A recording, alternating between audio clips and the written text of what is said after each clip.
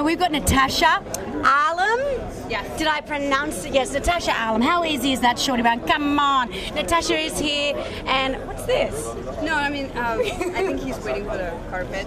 Um, Oh, oh, oh. we just did you a know- movie together. He directed a movie that I just did. Oh, what did you just do? Uh, it's called Werewolves. It's gonna um, come out premiere on uh, Sci-Fi Channel. Oh, wow. Now, do you like doing sci-fi, or did you like doing anything above? Is there any You know, particular? it was the first time I did something like that, and it was great. It was awesome. There's a lot of makeup involved, and because I was playing were- werewolf, and uh, and it starts in Iraq during the war. We all got bitten, and there you go. Wow. So, do you die in the film? I'm not allowed to say, am I? I I'm not because oh. I'm playing his love interest because he's playing the lead as well. No, no, you were heavily involved in modelling. So, how has this turnaround been from modelling into the acting world? Well, I'm actually not anymore involved in modeling as much because acting totally took over. And um, just uh, doing movie after movie, there's no space, no time for modeling. Except I'm doing a lot of magazines, but they're mostly like uh, articles. And so, with the acting world, you know, with the accent, do you have to like get a hold of the American accent for your roles? Sometimes you do, it depends on the role. Um, like I played an American in uh, Werewolves.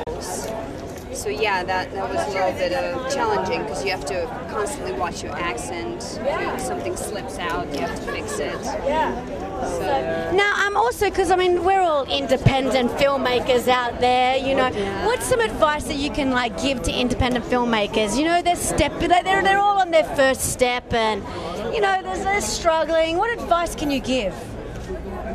I, say just don't give up. That's the best one. Just even if it's tough and, and nothing seems to going right, just uh, hang on a second, listen to your heart, and some amazing uh, uh, idea will come to your head and lead you the right way. So don't give up.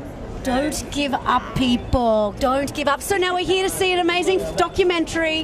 What are we here to see, Natasha? Oh wow, this is amazing. This is um, the, probably the last interview of Stalin's daughter because she totally refused to give interviews to anybody, and uh, Lana was the only one who totally convinced her to um, to give the interview. So this is amazing. This is history, and um, great stories that never been told. True stories about Stalin, the Russian dictator. Oh, so this is really exciting. I mean, it does feel like an exciting moment here uh, today here at Laemmle. Yay! So it's it's now it's pronounced Svelana about Svelana. That's right, Svetlana, but Svetlana. You say it so much more charming than I do.